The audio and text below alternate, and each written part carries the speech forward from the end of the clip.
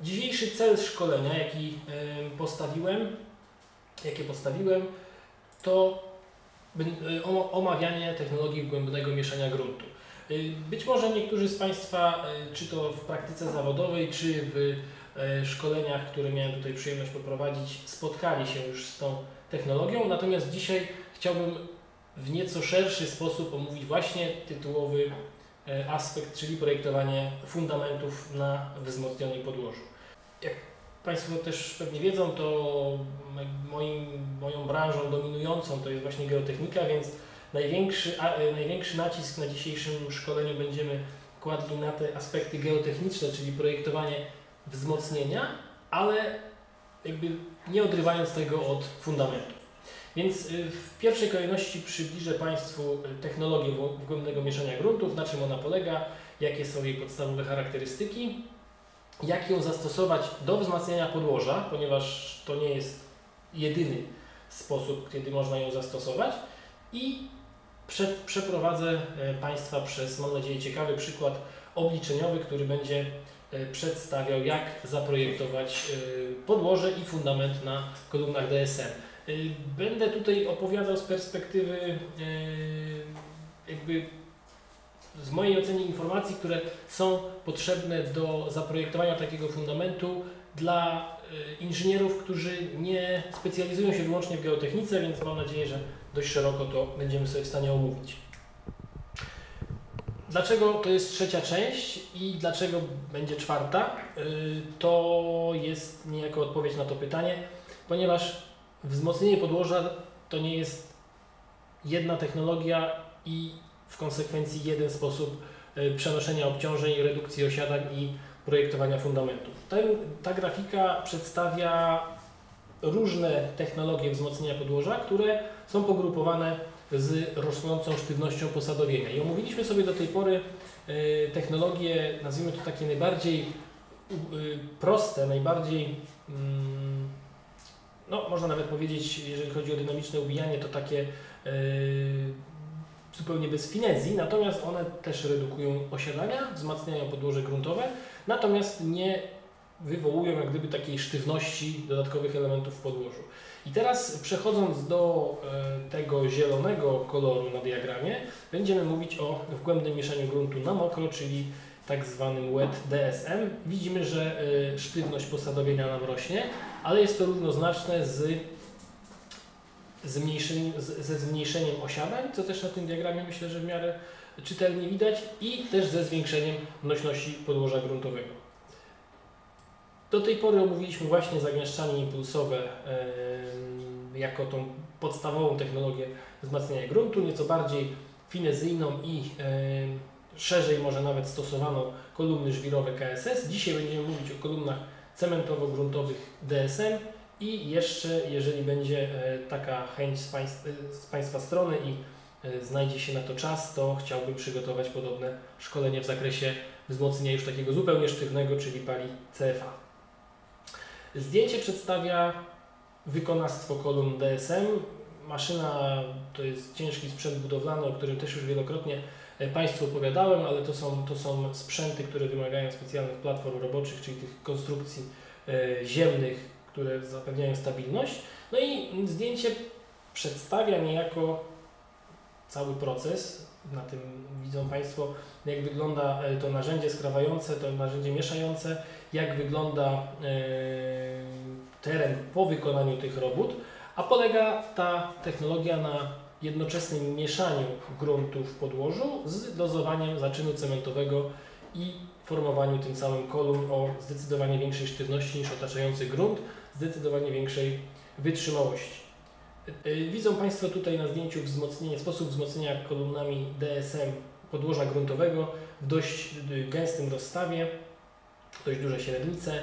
E, znakomicie te technologie się sprawdzają właśnie pod płyty fundamentowe, pod mocno obciążone fundamenty obiektów mostowych i wszelkiego rodzaju fundamenty, które wymagają wzmocnienia lub wymagają redukcji osiadań. Początki tego, tej metody sięgają lat 50. i yy, patentów w Stanach Zjednoczonych, ale również tutaj tak historycznie yy, był pomysł, żeby zrobić w Polsce mm, narzędzie do mieszania, do mieszania gruntu. Yy, tutaj jest patent z 66 roku, nawet udało mi się odnaleźć takie wiadomości, czyli sposób uszczelniania i wzmacniania gruntu oraz urządzenie do stosowania tego sposobu. To są początki, natomiast rozwój tej technologii yy, taki w praktyce krajowej nastąpił w zasadzie yy, w latach 90., 2000, no i trwa do dziś. W jakich kategoriach, jeżeli chodzi o postanowienia normowe, powinniśmy to rozpatrywać? To mamy cały czas tą zakładkę e, wzmocnienie gruntu i mm, jeżeli mówimy o normach w tym e, ujęciu europejskim, to mamy Eurokod 7 dwuczęściową, dwie części Eurokodu 7, gdzie są opisane większość istotnych informacji z punktu widzenia projektowania i wykonawstwa robót geotechnicznych, ale mamy szereg norm wykonawczych, które już detalicznie opisują każdy z tych zagadnień. I tutaj mamy normę 14679 dotyczącą wgłębnego mieszania gruntu z cementem lub z innymi spoiwami. Ta norma jest, nie dotyczy tylko mieszania gruntu na mokro, dotyczy również na sucho i yy, szczegóły dotyczące takie szczegóły, które, które, które stanowią jakby postanowienia normatywne, można tam znaleźć.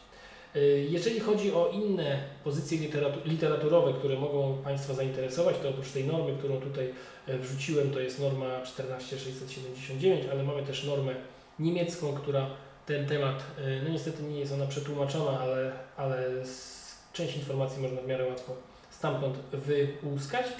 I artykuły branżowe, których jest całkiem sporo w e, literaturze technicznej, gdzie mamy bogatą bogate informacje na temat technologii, na temat projektowania, przykłady obliczeniowe i yy, można powiedzieć takie trochę też jakby najczęściej zadawane pytania bazujące na, na doświadczeniach z yy, wielu realizacji. Do czego możemy zastosować tę technologię? W zasadzie nie, nie pomylę się za dużo, jak powiem, że do wszystkiego, ponieważ yy, pozwala ona wzmacniać słabe, pod, słabonośne podłoże gruntowe lub, lub nawet nie tak słabonośne, ale jeżeli załóżmy mamy bardzo restrykcyjne wymagania dotyczące osiadań i chcemy ten grunt polepszyć, to również wtedy możemy stosować kolumny DSM. Czyli obejmuje to praktycznie każdą dziedzinę inżynierii. E, nasypy drogowe, kolejowe, wzmocnienia e, podławy, stopy, płyty fundamentowe, tak jak powiedziałem wcześniej, przyczółki, fundamenty, e, fundamenty przyczółków czy filarów obiektów mostowych, elektrownie wiatrowe, które, których bardzo wiele powstało właśnie na takim posadowieniu.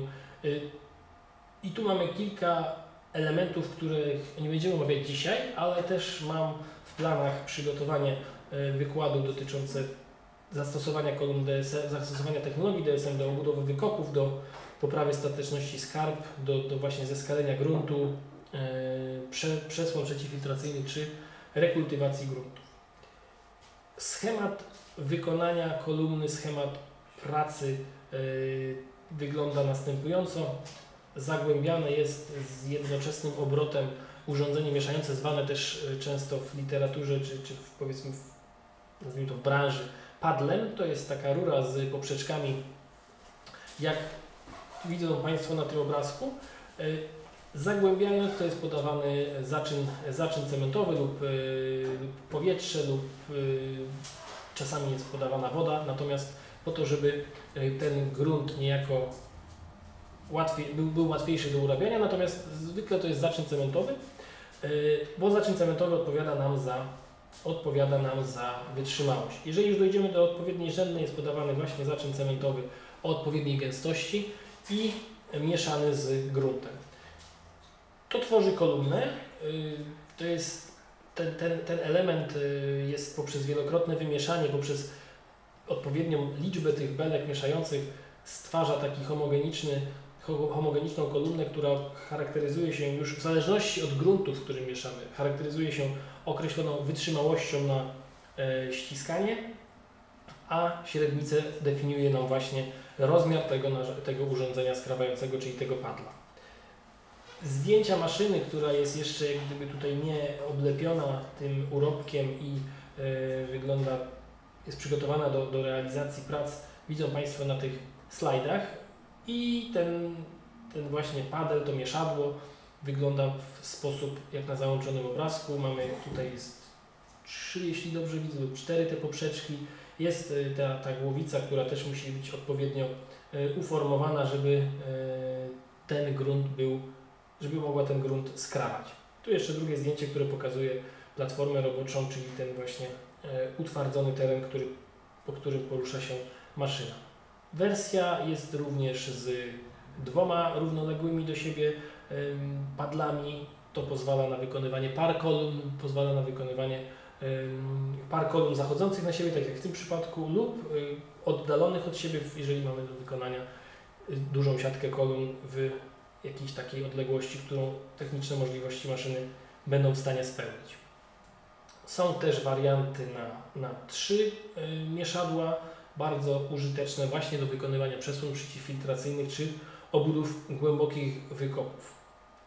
Tu jest jeszcze zdjęcie, które pokazuje jak ten sprzęt wygląda. oczywiście wyobrażam sobie, że to też pokażę na kolejnych slajdach, że takie, taka, taki schemat może być też wykorzystany jako element posadowienia. O, tutaj jest y, dobre zdjęcie, które pokazuje wykorzystanie podwójnego układu y, tych mieszadeł, które pracują nie na stycznie do siebie, tylko pewnym odsunięciu, co pozwala na takich inwestycjach jak właśnie roboty kolejowe, gdzie jest konieczność, można powiedzieć, sprawnego wykonania tych prac i jak najszybszego oddania frontu robót pod kolejne elementy infrastruktury, to zdecydowanie zwiększa tempo prac i pozwala na uzyskanie większej wydajności, wykonywanie takich kolumn parami. Widać, że to, e, ta technologia się sprawdza do remontów, do, do, do, w remontach mm, istniejących linii kolejowych. Mieści się to w skrajni pod ten drugi tor e, i z powodzeniem może być stosowana do wzmacniania nasypów istniejących oraz podłoża pod nimi.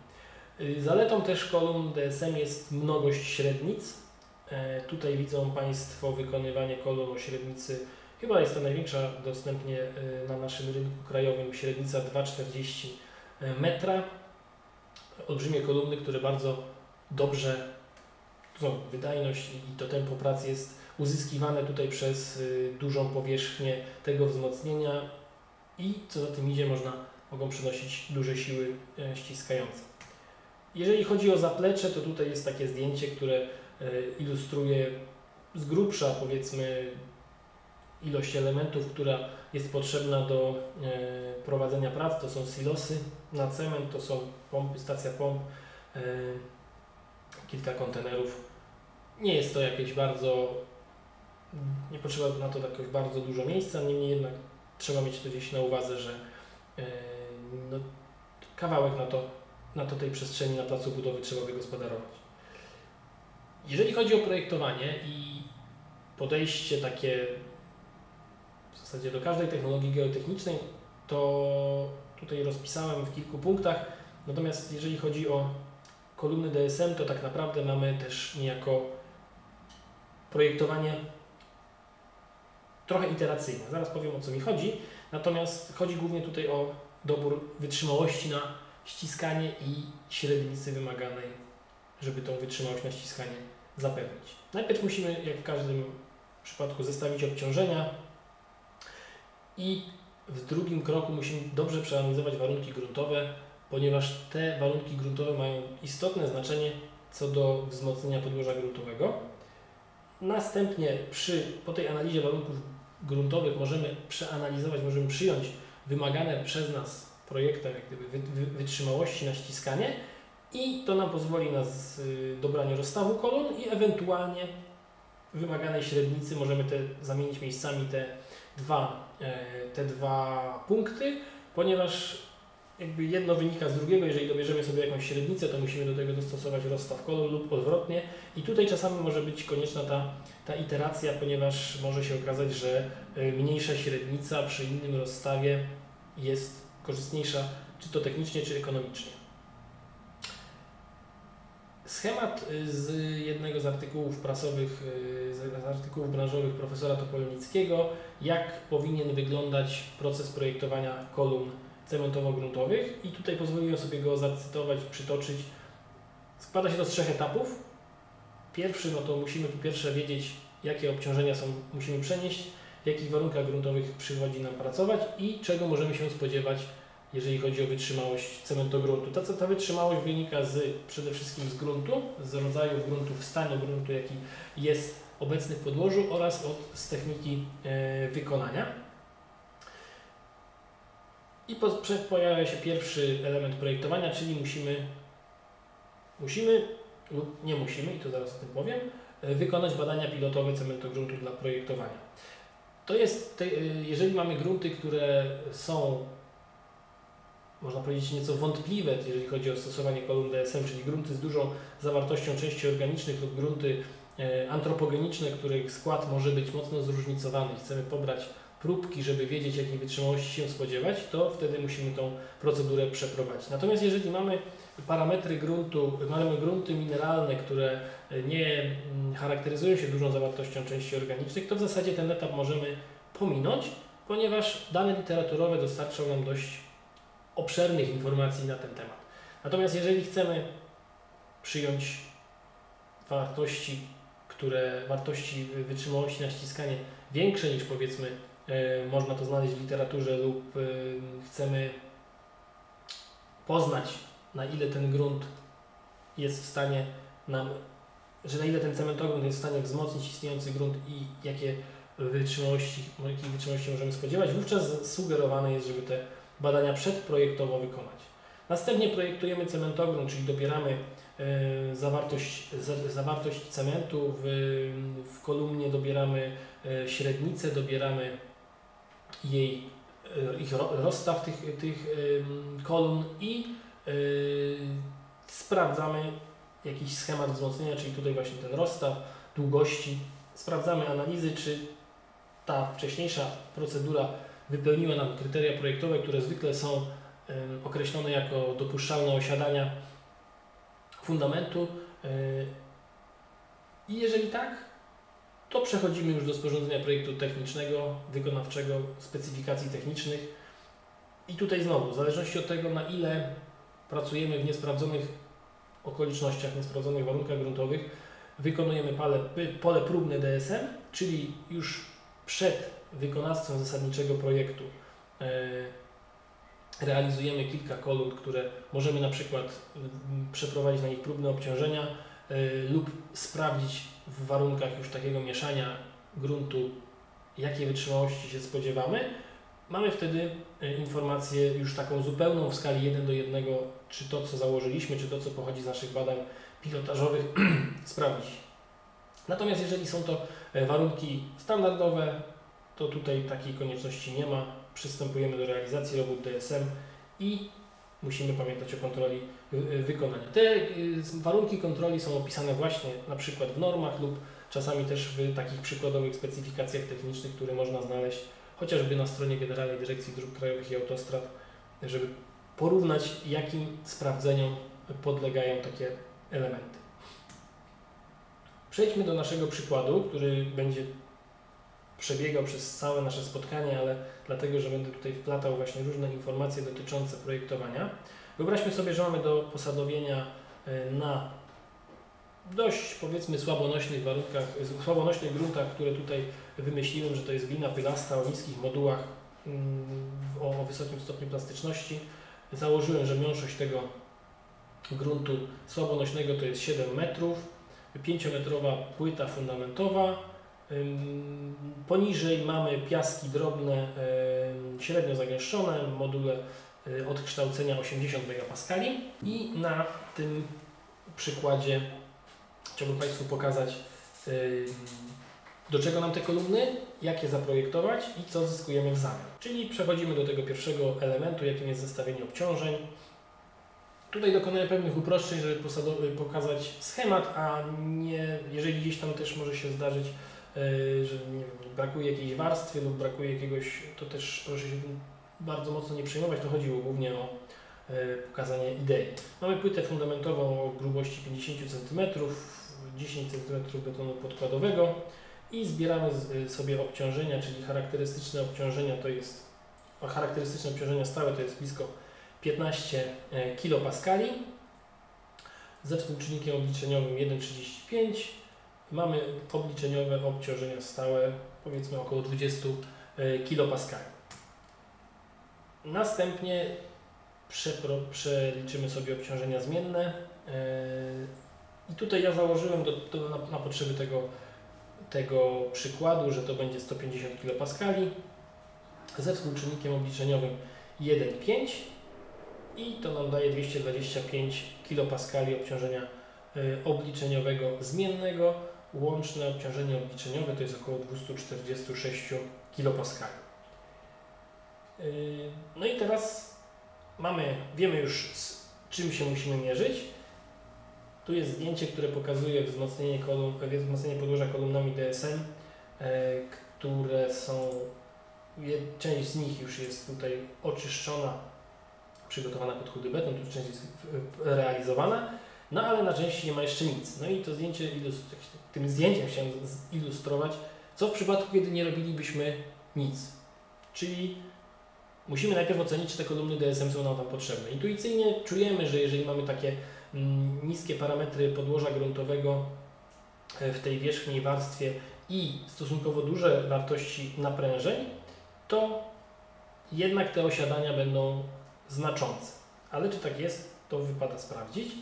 I tutaj e, przy założyłem wykonanie, e, założyłem płytę fundamentową o wymiarach 10 metrów na 20. Jednorodne warunki gruntowe, tu w każdym punkcie jest taki sam układ warstw geotechnicznych, ale to już nie chciałem tego jakoś tam mocno komplikować. I e, widzimy, że osiadania tutaj są pokazane w centymetrach. Maksymalnie one sięgają do 18, e, dobrze mówię, do 18,5 centymetra. Oczywiście y, tutaj, gdybyśmy chcieli jeszcze, musielibyśmy jeszcze przeanalizować, czy ta płyta fundamentowa jest na tyle sztywna, że te osiadania będą jednak bardziej wyrównane, y, więc jeżeli byśmy uznali, że ta płyta jest sztywna, wtedy w punkcie charakterystycznym to by była nieco mniejsza wartość, natomiast widać, że nawet na krawędziach, które tutaj jakby takim obliczeniowym, mm, no obliczeniowo tutaj są małe naprężenia, na małe naprężenia, więc ona teoretycznie osiada mało, no ale to jest jakieś tam przybliżenie obliczeniowe. Natomiast widzimy, że tutaj y, poruszamy się w wielkościach od 10 pod prawie do 19 cm, 18,5 Nawet bez żadnych specjalistycznych wymagań, y, tylko bazując na normie y, Eurocode, na, na Eurocodzie, która dopuszcza 5 cm, widzimy, że jesteśmy już, y, że już mamy przekroczone te parametry. No i to jest przy założeniu, że jesteśmy obciążeni, że mamy obciążenie równomierne 150 kPa.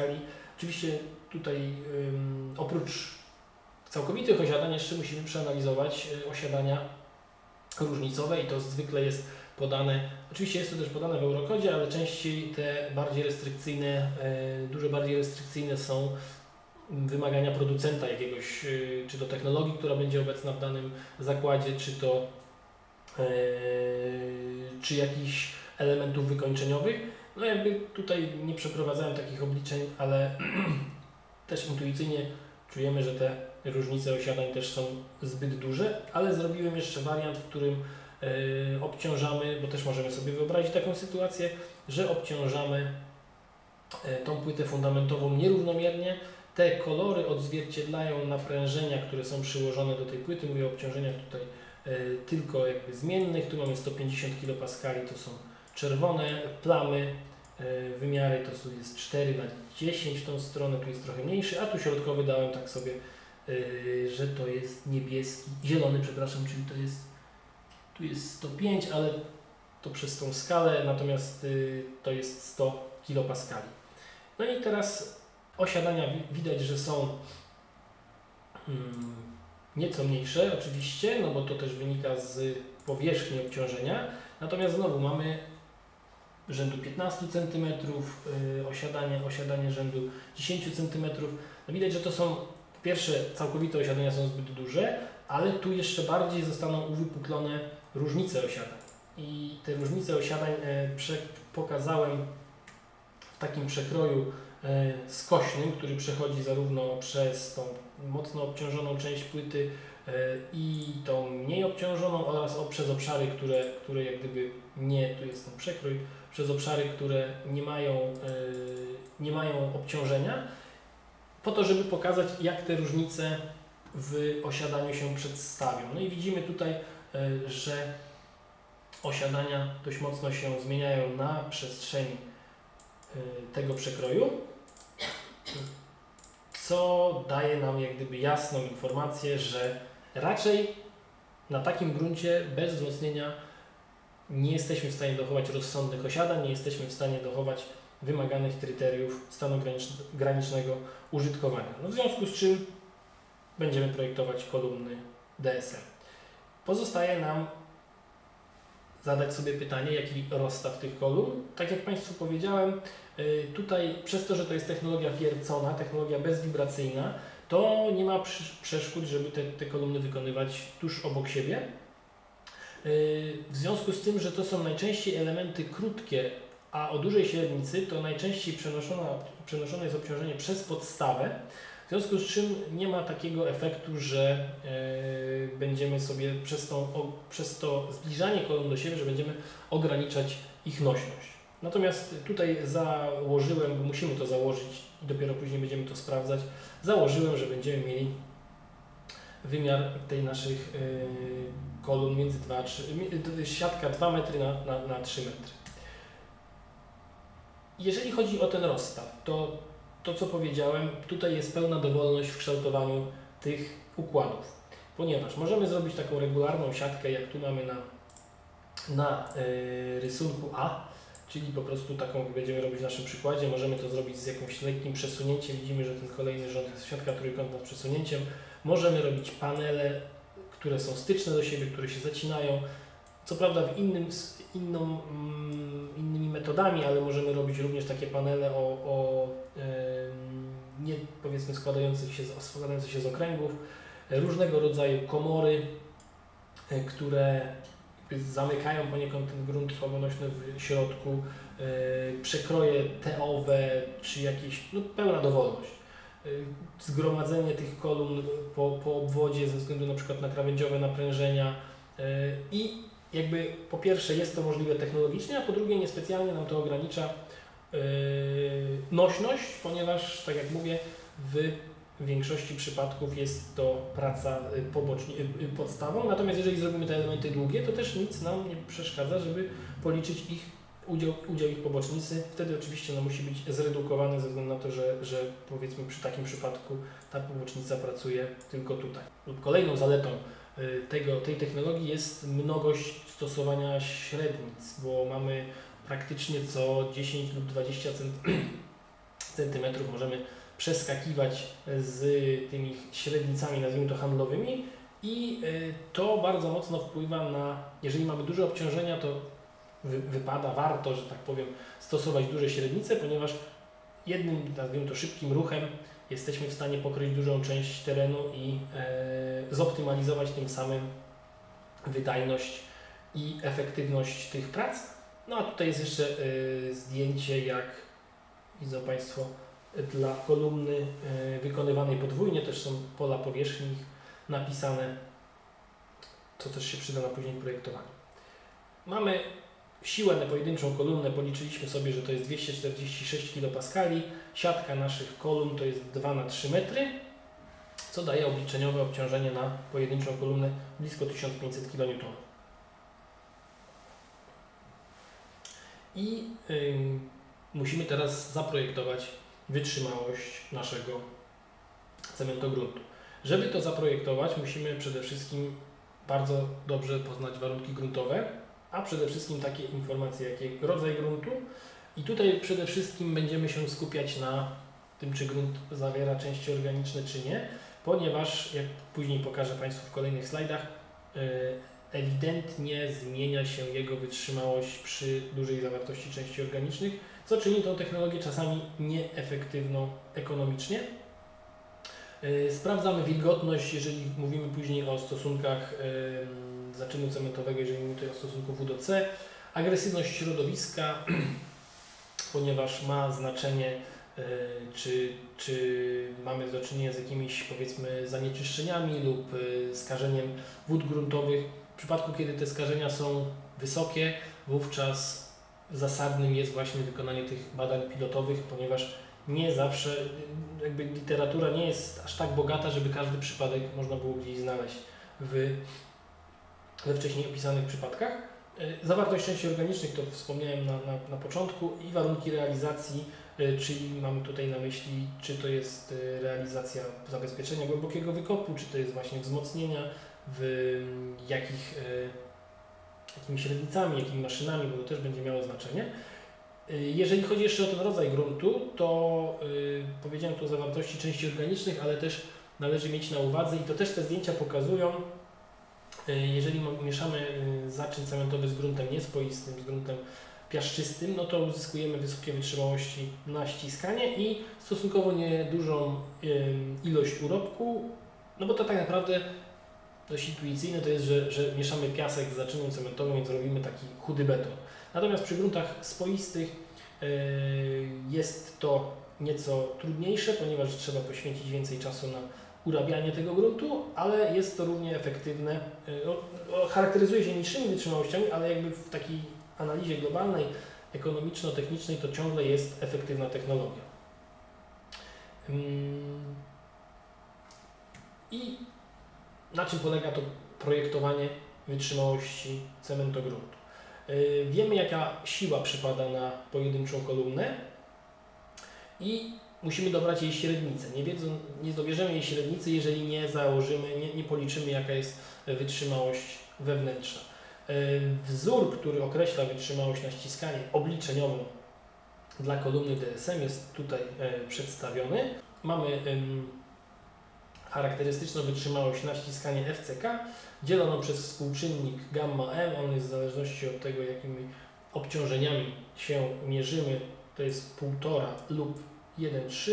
My będziemy stosować współczynnik 1,5, nie, nie, nie, nie analizujemy tych obciążeń wyjątkowych, więc będziemy się poruszać w zakresie obciążeń stałych i zmiennych i tu jest współczynnik jeszcze korekcyjny 0,85. Gdybyśmy chcieli wykorzystać DSM, e, kolumny DSM na e, i wzmocnienie tego gruntu jako, y, jako grunt y, przenoszeniu naprężeń ścinających, to takie literaturowe powiedzmy podejście to jest około połowa wytrzymałości na ścinanie, jednak to nie jest główna, główny cel wykorzystywania kolumn DSM, więc jeżeli to miałby być główny cel, to tutaj też zalecam e, badania pilotowe, podobnie jak na, przy wytrzymałości na rozciąganie która znowu jest dziś na podstawie badań laboratoryjnych określona jako 10 do 20% wytrzymałości obliczeniowej na ściskanie. Natomiast znowu, e, tak jak dla betonu, no, beton służy do przenoszenia prężeń ściskających, podobnie właśnie jak kolumny, jak cementogrunt, więc tutaj też trzeba z tym to poddać głębszej analizie, jeżeli chciałoby się w ten sposób stosować. I kilka takich y, przykładowych charakterystyk, z czego możemy się spodziewać po cementogruncie, to jest akurat y, zestawienie z takiej powiedzmy odpowiednika Generalnej Dyrekcji Dróg Krajowych i Autostrad w Stanach Zjednoczonych. Y, mamy UCS, czyli wytrzymałość na jednoosiowe ściskanie od 0,2 do 5 MPa. Zwracam uwagę też, że to jest ten dokument jest z marca 2000 roku. On oczywiście bazuje na doświadczeniach amerykańskich z tamtego czasu. Tu mamy opisane, że między pół do 5 megapaskali możemy się spodziewać w gruntach niespoistych, od 0,2 do 2 megapaskali w gruntach spoistych. Gdybyśmy mówili o, o mm, zabezpieczaniu przeciwfiltracyjnym, no to tutaj mamy współczynnik e, filtracji K i on sięga od 10 do minus 6, 10 do minus 9.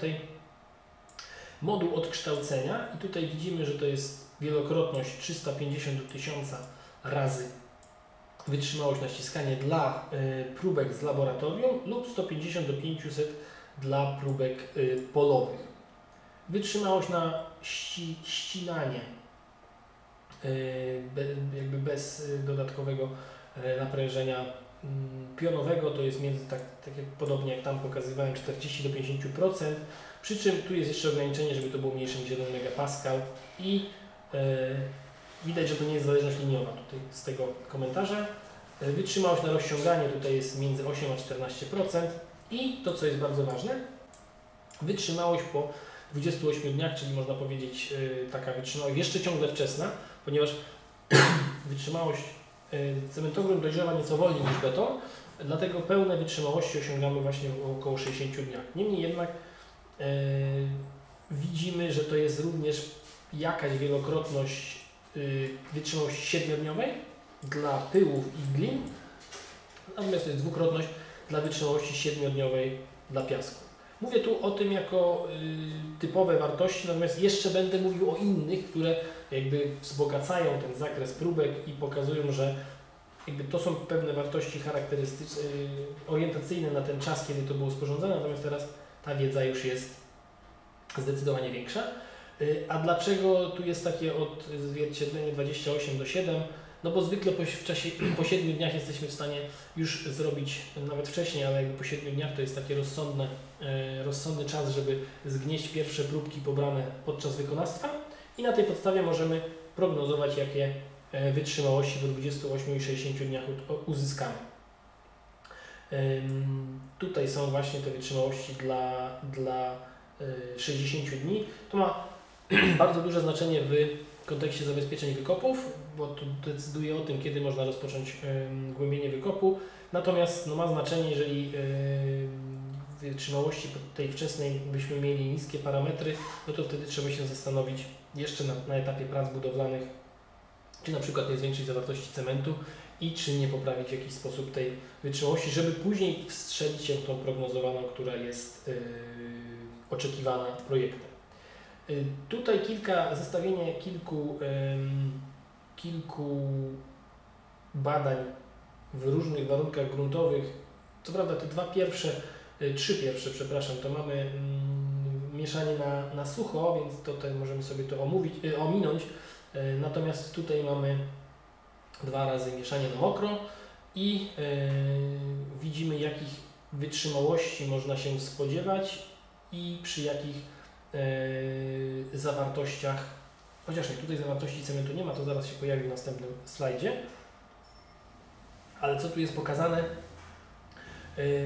E, Zależność między wytrzymałością krótkoterminową, taką powiedzmy nawet mam na myśli krótkoterminową kilkadziesiąt dni, a wieloletnią. Co prawda tutaj jest bardzo niskie, niska wytrzymałość średnia dla tego e, zestawu gruntów. Być może było po prostu e, albo zawartość części organicznych, albo były jakieś tutaj e, niska zawartość zaczynów cementowych, niska zawartość cementu, ale bardziej tutaj można zauważyć, jak, ten, jak to przyrasta, że po e, 15 latach dla tego, dla tego gruntu to przyrosło trzykrotnie, tutaj na przykład ponad dwukrotnie, czyli widać, że jest ewidentny efekt e, wzmocnienia w czasie, o tym też jeszcze powiemy sobie za chwilę. A tutaj są próbki z większych, z większych prób. Na przykład mamy pobieranie, pobieranie próbek z tego, co wypływa na, na, podczas prac. Widzimy średnią 3,23 y, i zawartość cementu, jaka była y, dozowana w. y, Co prawda tutaj nie jest opisane w tekście. Tutaj dla Państwa którzy są ciekawi tego tematu, to też są e, źródła literaturowe. W tekście jest na pewno opisane, jaki tu był e, dokładnie, dokładnie grunt. E, Mamy też na przykład tutaj pobieranie próbek, 17 próbek z rdzenia dla zupełnie innego gruntu. Widzimy też inną wytrzymałość, ale chciałem tutaj Państwu zdemonstrować, że tam mieliśmy na poprzednim slajdzie 5 jako maksymalną, tu widzimy na przykład 5,18 em, po wytrzymałość, tu mamy nawet, nawet 8 y, megapaskali i y, oczywiście jakby sama wartość, której możemy oczekiwać bez analizy jaki to jest grunt, ona nam nie daje wszystkiego, y, ponieważ to jedno z drugim jest bardzo mocno związane. Na czym polegają, polega pobór próbek i badania? No to tam tym samym co próbek e, betonowych, czyli na budowie e, z tych z tego urobku, z, z, z, z gruntu zmieszanego z cementem pobiera się próbki do naczyń, do, do, do foremek kostkowych i e, pielęgnuje się to podobnie jak beton, po czym po właśnie określonym w projekcie czasie, czy to są 3 dni, czy to jest 7, czy, ten, czy 28, jest, są te e, próbki ściskane i na tej podstawie wiemy, czy nasze założenia zostały spełnione, czy jednak nie. E, inną metodą jest pobieranie próbek e, jako odwiertów z wykonanej kolumny.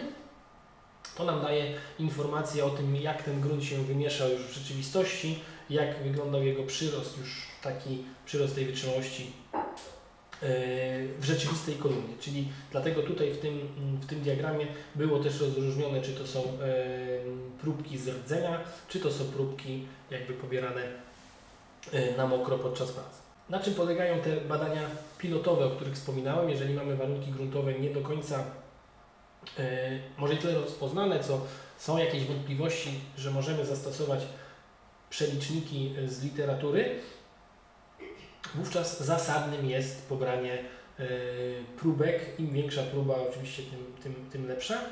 I na przykład przy, różnej, przy różnym dozowaniu cementu sprawdzi, sprawdzamy, jakie otrzymaliśmy wytrzyma, wytrzymałości na ściskanie.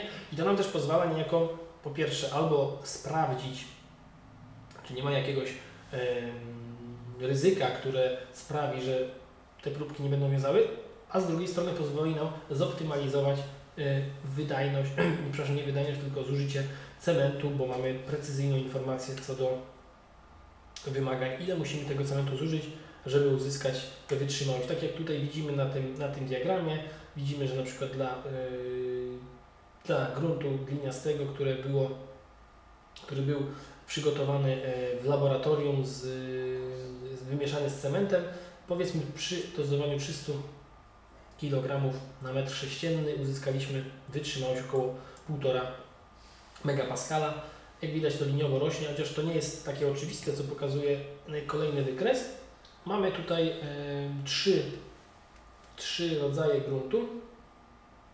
E, piaski średnie, gliny i torfy i przy różnej zawartości cementu jest pokazana e, wytrzymałość razem z takimi e, oszacowaniami, jakby tu powiedzmy jakieś linie trendu się wpisywały i widzimy, że e, pierwszy wniosek, który się tu pojawia, już przy niewielkiej, przy niewielkim, e, niewielkiej zawartości cementu grunty organiczne mają najniższą wytrzymałość, grunty spoiste wyższą, ale też jakby no nie najwyższą i znowu to, co intuicja podpowiada, grunty niespoiste, czyli piaski od razu mają stosunkowo wysoką wytrzymałość. widać, że ta wytrzymałość rośnie w e, czasie, e, przepraszam, nie w czasie, tylko przy mm, dozowaniu większej ilości cementu, oprócz tych gruntów organicznych.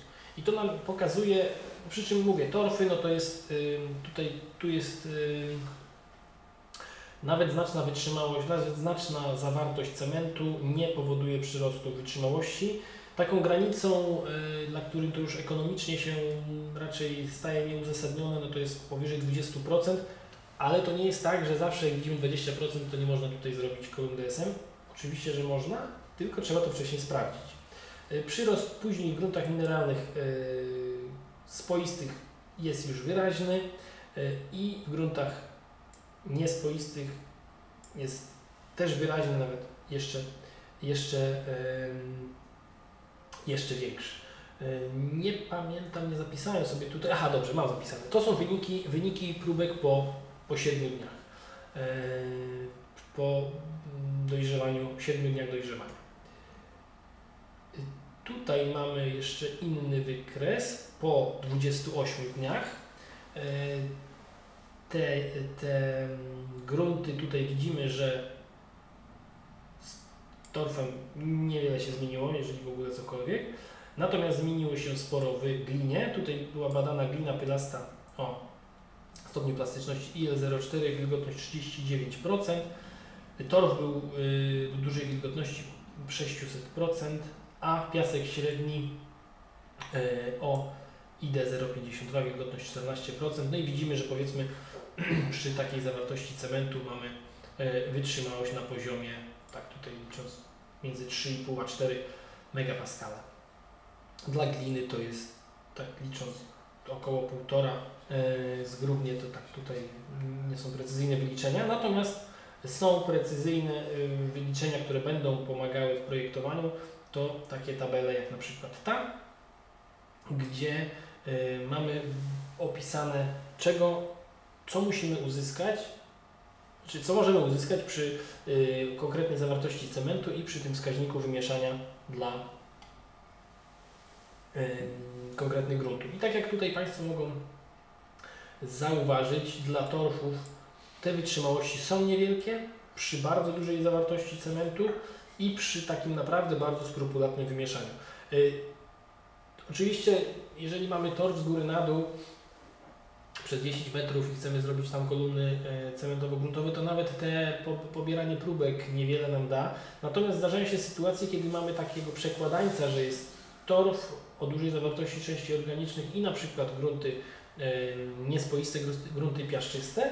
No i tutaj już jakby możemy spróbować zastosować takie technologie, ponieważ no jednak jak widzieli Państwo na tej poprzedniej, na, na jednej z poprzednich animacji zdjęć, to te grunty niespoiste wymieszane z torfem jednak sumarycznie zmniejszą nieco zawartość części organicznych. E, dla namułów te wartości są już większe i maleje nam zawartość cementu, maleje też jakby ten wskaźnik BRN, czyli to jakby to jest taki wskaźnik, który informuje nas o jakości wymieszania tego. I przechodząc już do gruntów powiedzmy tutaj mineralnych, dla iłów to jest między 1 a 2 megapaskale, dla glin 1,2 do 2, y, pyły 1,5 do 3 i piaski 3,5 do 5. Tutaj znowu się pojawia wartość 5, natomiast zdarzają się też wytrzymałości wyższe, co też wcześniej Państwu zademonstrowałem. No i znowu mamy ewidentnie malejącą zawartość cementu przy większych wytrzymałościach i też jakby mniej trzeba, że tak powiem, ten wskaźnik nam pokazuje, jak bardzo musimy dbać o e, stopień wymieszania. Dla naszego przykładu ja tam wymyśliłem, że będziemy mieli glinę pylastą, czyli my będziemy się koncentrować w tych rejestrach, czyli będziemy mówić o glinach i pyłach, e, o wytrzymałościach, e, czyli będziemy się obracać w wytrzymałościach z zakresu 1,5 do, do 3 megapaskali. Zaraz zobaczymy jaka jest wymagana. Wskaźnik BRN tu jeszcze pokazuje nam jaki jest jakby ten wzór, to nie chciałbym niego tutaj wnikać, bo, bo to jest y, nie, nasz, nie, nie jest przedmiotem naszego, naszej dyskusji. Bardziej chodzi o to, że ten wskaźnik BRN pokazuje nam jakość wymieszania kolumny i widzimy, że jeżeli wymieszamy tą kolumnę raz, czyli linia przerywana, to, ten, y, to ona, znaczy intuicyjnie znowu czujemy, że ona będzie gorzej wymieszana niż jak ją przemieszamy po trzykrotnie w mm, trzech, trzech osobnych cyklach i to jakby wpływa nam na ten e, wskaźnik BRN. Zdjęcia, które pokazują takie świeżo wykonanych kolumn, e, one ilustrują ilość urobku, która się generuje podczas tej realizacji, bo to też jest parametr, który w jakiś sposób pozycjonuje nam tę technologię.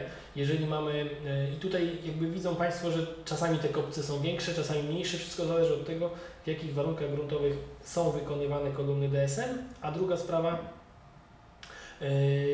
w, czy to są grunty spoiste, czy niespoiste. Jeżeli mamy grunty spoiste, te, ten uroby, te, te kopce są nieco większe. Natomiast znowu nie jest to coś, co y, musi stanowić, że tak powiem, odpad, ponieważ co tutaj mamy? Mamy grunt z dość dużą zawartością cementu, więc można to z powodzeniem wykorzystać, ścinając to na mokro, można to wykorzystać na przykład na podbudowy pod drogi technologiczne, czy jakieś y, stabilizację gruntów, y, no bo jednak mamy tutaj całkiem sporą zawartość cementu i ten grunt już niejako uszlachetniony. E, zdjęcie pokazujące, pokazujące realizację kolumn na e, obiektach infrastrukturalnych. Tutaj jest wzmocnienie pod e, obiekt inżynierski, kolumny w takim rzędzie dość, dość ciasnym. I wracamy do projektowania, czyli mamy wytrzymałość naściskania, że to jest FCD 0,85 razy średnia wytrzymałość charakterystyczna na ściskanie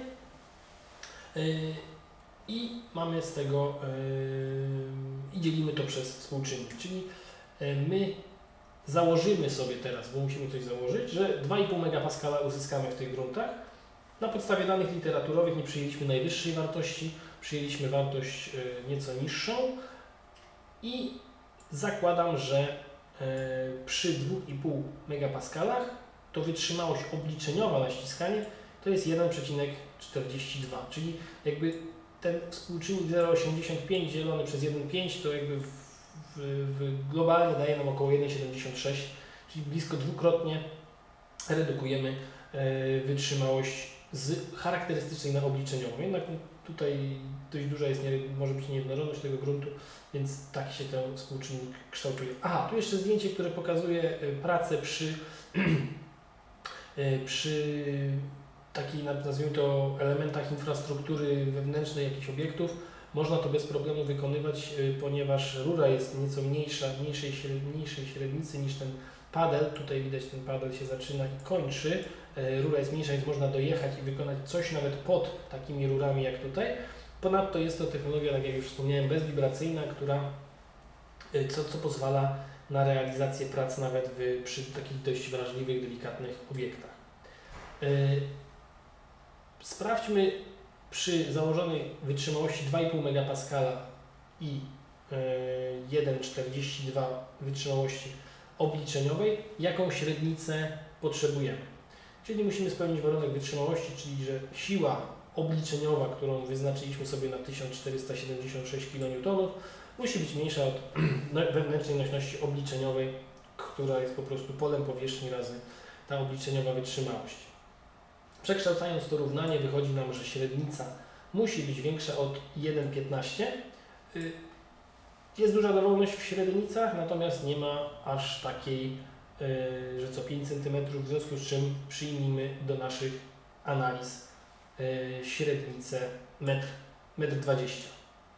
Wówczas nośność wewnętrzna kolumny już obliczana z, ze średnicą rzeczywistą to jest 1605 kN, co e, jest większe niż to 1476, które policzyliśmy sobie wcześniej, e, czyli warunek nośności wytrzymałości wewnętrznej jest spełniony odpowiem na pytania.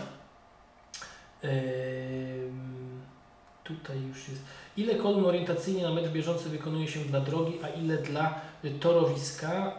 To jest zależne od warunków gruntowych i zależne od, bo to też y, ma znaczenie, jeżeli chodzi o y, wydajność. Natomiast y, można powiedzieć, że jeżeli jest front robót przygotowany na tym torowisku e, sprawnie, to tak jak Państwo tam widzieli na tym zdjęciu, e, maszyna cofając się robi kolejne kolumny, więc tutaj nie ma specjalnego ograniczenia jakiejś wydajności. I druga rzecz zależy też od, od, średnicy, ale powiedzmy można przyjąć, że dla tych większych średnic to jest około 200-250 metrów bieżących na zmianę, dla tych mniejszych, czyli powiedzmy 60 cm, to mogą dochodzić nawet do 400 metrów bieżących na zmianę.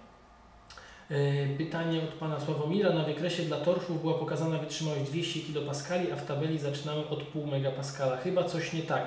E, jeżeli chodzi o torfy, to tutaj ta tabela jest tylko pomocnicza i e, ma duże, jeżeli chodzi o torfy, to tutaj mówię, radzę być ostrożnym i ewentualnie planować te badania pilotowe, ponieważ zawartość części organicznych, wilgotność ma duże znaczenie i to są bardzo orientacyjne wartości te badania, które wykazały 200 kPa, jak najbardziej są prawidłowe. Ta tabela również daje orientacyjne wartości. Natomiast y, jeżeli przeczytają Państwo cały artykuł i te wszystkie jakby mm, podpunkty, które do tej tabeli są dołączone, to jeżeli chodzi o te grunty organiczne, to tutaj musimy bardziej niż tabelą wierzyć badaniom pilotowym. Co w przypadku posadowienia podpór na gruntach z wysokim stanem wód gruntowych, np. kolumny DSM, 2 metry poniżej zwierciadła wody? To nie ma problemu z tym, ponieważ yy, jeżeli nie ma takiej sytuacji, że ma jakieś napięte artezyjskie zwierciadło wody, które by wypłukało ten zaczyn, a zwykle tak nie jest, to nie ma problemu, ponieważ yy, steruje się wtedy gęstością zaczynu cementowego, ewentualnie zawartością wody w zaczynie. Jakie oprogramowania programowanie było wykorzystywane w prezentacji do obliczeń osiadania płyty. To było osiadanie liczone programem GGU Settle y, z, no, z pakietu programów geotechnicznych GGU, które jest kilka, y, kilka takich pojedynczych programów, które służą do konkretnych zadań. To nie jest, jest bardzo, one są kompatybilne często między sobą, ale y, to nie jest taki jeden wielki kombajn, tylko każdy ma taki mały pakiet. I przechodzimy teraz, mamy, mamy rozstaw, mamy wytrzymałość wewnętrzną, mamy siłę na kolumnę, mamy średnicę, więc teraz przyszło nam policzyć osiadania i przyszliście nam policzyć płytę fundamentową. I tutaj zacznę od przykładu y, niewymyślonego tylko z praktyki, y, żeby wprowadzić do tego y, modelowania. Sytuacja, w której musimy ograniczyć osiadania gruntów spoistych do za pomocą kolumn DSM różnych średnic. Widzimy tutaj takie etapowanie tych kolumn, jeżeli chodzi o długość, bo na to przyjdzie płyta fundamentowa, która na krawędziach jest akurat tutaj mniej obciążona niż w trzonie, w związku z czym jest ta etapowanie tych, tych długości kolumn. Na to e, przyjdzie 9, yy, przepraszam, 15 kondygnacji nadziemnych, jedna podziemna na, na całym obszarze tej e, płyty fundamentowej i wymagania dotyczące osiadań całkowitych były na poziomie 3,5 cm, natomiast różnica osiadań e, na długości nie mogła przekroczyć centymetra. I e, w takiej sytuacji, jak tutaj nie, nie, nie wprowadzam Państwa w warunki gruntowe, chcę tylko pokazać, jak zaprojektować takie, e, co, jak to było zaprojektowane, bo jak zaprojektować to jeszcze pokażę. Natomiast jak zaprojektować też płytę fundamentową. Obliczenia dla tego, dla tego zagadnienia były wykonane w modelu 3D programu Plaxis do obliczeń numerycznych i widzimy osiadania płyty fundamentowej w stosunku do obciążeń, które tutaj były zadane z zewnątrz. I efektem, tutaj jest rozkład kolumn pod e, częścią, pod częścią e, wysoką, to jest ta różowa kreska, pod częścią dość, dość mocno obciążoną, ale jednak niższą, nie pod trzonem, E, to jest ta niebieska i pod kondygnacją podziemną to jest ta powiedzmy zielona. Rozstaw tutaj, nie wiem czy go dziś widać, to jest 2,50 bodajże na... No, musiałbym tutaj to przybliżyć, ale, ale teraz się tego, e, nie jestem w stanie tego zrobić, bo tutaj się to wszystko rozsypie. Natomiast co jest efektem tych obliczeń? Efektem jest mapa sztywności podłoża pod płytą fundamentową, która pokazuje, że Kolumny DSM w zasadzie możemy projektować jako posadowienie bezpośrednie na wzmocnionym podłożu, ponieważ wyznaczone zostały strefy, gdzie osiadanie jest e, w jakichś zakresach, w nawiązaniu do naprężeń, które panują w tym obszarze i mamy na przykład tą strefę zieloną, to jest między 7,5 tysiąca 9 tysięcy km na metr sześcienny. Mamy kolejną obrys części nadziemnej e, poza trzonem to już jest nieco mniejsza sztywność, bo po prostu mniej kolumn DSM zostało tam yy, zainstalowanych, ale żeby spełniły te wymagania dotyczące osiadań. No i ta część poza przy mniejszych naprężeniach zdecydowanie i mniejszej sztywności gwarantuje nam to yy, te, same, te same osiadania i gwarantuje to minimalizację w, w, w kontekście różnicy osiadań.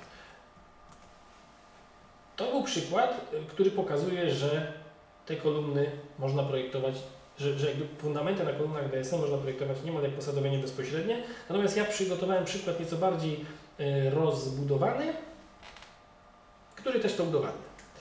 Y, jeszcze wracając do tych próbek, o których mówiliśmy wcześniej, to badamy to, co sobie zaprojektowaliśmy, to badamy w laboratorium na tych próbkach kostkowych 150-150 mm. Yy, mamy wiek próbek podany, mamy oznaczenie i jakie z tego uzyskujemy yy, wytrzymałości na ściskanie. Wytrzymałości konkretne tutaj dla każdej próbki, wytrzymałość średnią, podobnie tutaj. To jest raport z badań wytrzymałości po 28 dniach. Yy, chciałem Państwu zademonstrować, jak to powinno wyglądać w praktyce. Jeszcze wracając do tych badań pilotowych, jeszcze wracając do e, tego, czego możemy się spodziewać po wytrzymałościach w konkretnych dniach, to tutaj jest zestaw różnych badaczy, którzy to opisali na podstawie swoich doświadczeń. Ja nie będę tego e, szczegółowo Państwu omawiał, bo bez sensu, żebym czytał konkretne cyferki. E, dla tych z Państwa, którzy są ciekawi tego, to odsyłam do, do, do tej tabeli, do lektury literatury, która się tutaj pojawiła. Natomiast takie powiedzmy zgrubne znowu oszacowania, których możemy się spodziewać, to, to przyrost wytrzymałości dla y, przyrost, wytrzymałość po 4 dniach, to po 28 dniach powinno być około dwukrotnie więcej. Jeżeli mamy grunty y, spoiste i chcemy to precyzyjnie oszacować, to po 7 dniach to jest między 1,4 a 1,7, y, 1,5 do 2 to jest dla niespoistych po 7 dniach, a wytrzymałość długoterminowa to jest 1,4 do 1,5 y, gruntów zbadanych po, y, zbudowanego po 28 dniach. Po prawej stronie widzą Państwo próbki cementu gruntu. Tutaj widać dość dużą jednorodność tego wymieszania, y, no bardzo schomogenizowany ten cementogrunt. Dlaczego to jest takie ważne? Y, I dlaczego tutaj tak się y, detalicznie i szczegółowo sprawdzamy, te, po ilu dniach mamy jaką wytrzymałość? Dlatego, że przy budowie, która trwa kilka, kilkanaście dni, mamy próbki zbadane na powiedzmy na, po 7 dniach i wychodzi jakaś wytrzymałość. I teraz to jest dla nas sygnał, czy należy w jakiś sposób zmieniać sposób y, prowadzenia tych prac, na przykład zwiększyć dozowanie cementu lub kombinować jakieś zamienne średnice, bo na przykład wytrzymałość po 28 dniach nie zostanie osiągnięta, lub na przykład inny sposób, in, in, inna informacja z tego slajdu, że po 7 dniach przedstawiamy wytrzymałości i ktoś mówi, o to jest w ogóle, zaprojektowaliście 2,5 MPa, a po 7 dniach jest 1,8. No to wtedy bardzo łatwo można powiedzieć, że ta, ten przyrost jest, on jest wolniejszy niż w, niż w cemencie i charakteryzuje się taką dynamiką. Więc to jest y, bardzo użyteczne przy rozmowach, czy to z inwestorem, czy, czy, czy właśnie rozmowach projektowych, że y, czas no jednak tutaj działa na, na naszą korzyść. Do obliczenia osiadań jeszcze jest potrzebny nam y, moduł odkształcenia cementogruntu. Y, Tutaj widzą Państwo kilka badań dla różnego rodzaju, dla różnego rodzaju y, próbek, dla, różnej rodzaju, dla, dla, różnych zawartości cementu i widzimy, że ten moduł, e, sieczny moduł odkształcenia E50, on się e, waha między 500 a 900 e, na tym badaniu między 500 a 9 900 krotnością wytrzymałości na ściskanie, tu jest przyjęta e, 700 razy wytrzymałość na ściskanie. Badania były wykonywane w, e, w laboratorium, tutaj są parametry tych, tego, tego badanego materiału, więc jeżeli będą Państwo ciekawi całej tej mecha procedury, mechanizmów, to tutaj odsyłam do tego badania. Pokazane są też różne, jak gdyby obwiednie, różne linie trendu dla, dla y, tu jest zestaw badań, który został wykonany i pokazane są jakby linie trendu, które pokazują, że to w zależności od gruntów, którymi dysponujemy, że to może się wahać od 100 krotności wytrzymałości na ściskanie, nawet do 1000 krotności. To oczywiście, jak Państwo też intuicyjnie się domyślają na podstawie poprzednich mm, tych moich slajdów, dużo zależy od właśnie gruntów, którymi, ym, których, których to wykonujemy. No i znowu, jeżeli mamy zawartość gruntów, zawartość części organicznych w tych gruntach, to niestety musimy się spodziewać nieco mniejszych wytrzymałości. Natomiast jeżeli mamy e, grunty spoiste, przepraszam, niespoiste, piaszczyste, żwiry, to e, lądujemy w tej wyższej, wyższej warstwie. I znowu mamy jakąś powiedzmy orientacyjną do projektowania e, tabelę, która nam pokazuje, że jeżeli mówimy o średniej wytrzymałości na ściskanie, to jest to między 300 a 500 ym, razy parametr wy- średnia wytrzymałość na ściskanie. Jeżeli mówimy o charakterystycznej wytrzymałości na ściskanie, to to jest 500 ym, do 800. W- Relacja między, między charakterystyczną a obliczeniową, przepraszam, a średnią a, a charakterystyczną, no to jest podobna jak właśnie w badaniu próbek cementowych, y, betonowych, przepraszam, to jest opisane też w normie, czym się to charakteryzuje lub w tych artykułach branżowych. Jeżeli mówimy o gruntach organicznych, no to tutaj jest, tak jak wspomniałem wcześniej, ten parametr odkształceniowy jest zdecydowanie mniejszy, e, między 100 a 200 dla wytrzymałości średniej. Jak teraz policzyć osiadanie takiej kolumny, e, żeby później sprawdzić, jak tam to działa na płytę? Metod jest kilka, jedną z nich to są funkcje transformacyjne, które zakładają, podobnie jak w, noś- w, obliczeniach nośności pali, mamy powiedzmy ten model gruntu e, z e, przybliżony, przybliżony współczynnikami, znaczy jakby sprężynkami, które charakteryzują, y, które są scharakteryzowane parametrami gruntu. Y, Mamy graniczne y, wartości oporów na pobocznicy, mamy krzywe, które mobilizują się właśnie na pobocznicy pod podstawą. Tych metod jest kilka, tutaj jest przykładowa, która jest opisana bardziej szczegółowo w, tym, w, tej, w, tym, liter, w tej literaturze. E, Określone są też y, y, maksymalne mm, osiadania, czy to dla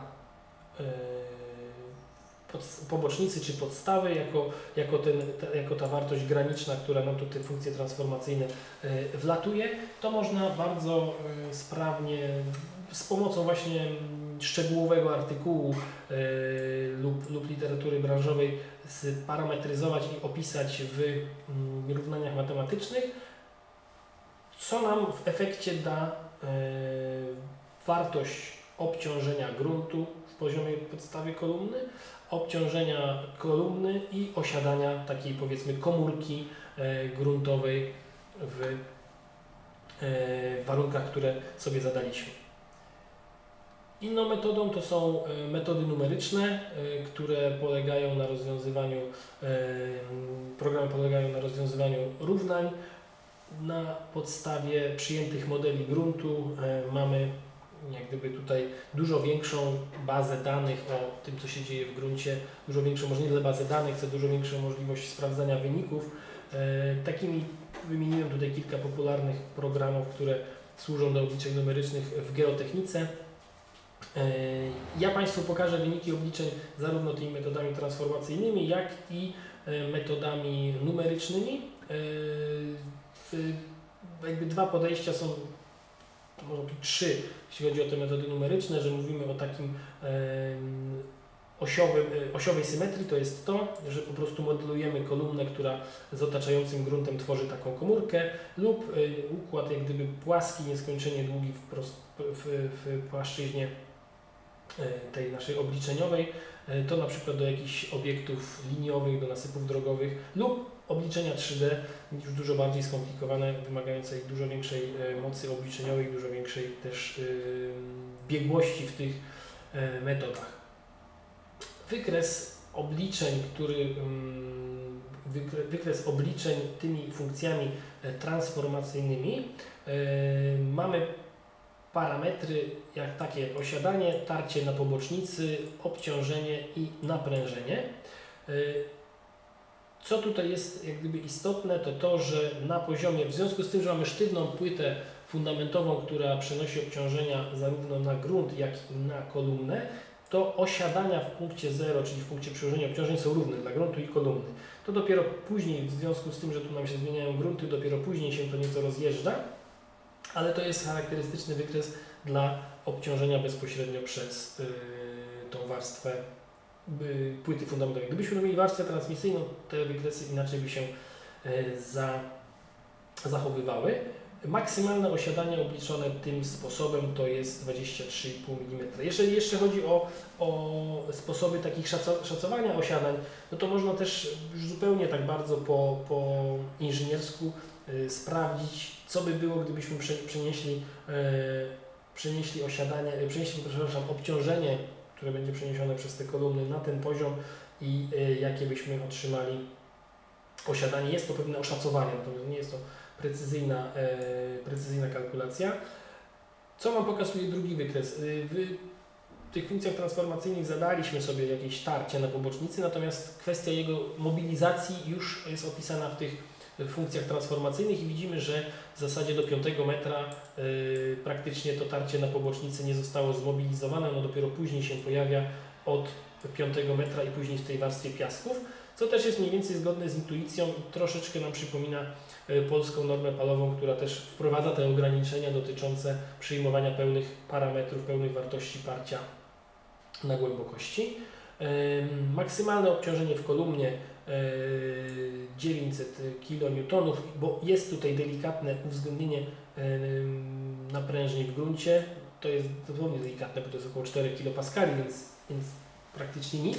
E, Gdybyśmy mieli mocniejszy grunt w poziomie posadowienia, to ten udział byłby zdecydowanie większy i to jest coś, co warto rozważyć, jeżeli chcemy zoptymalizować e, posadowienie.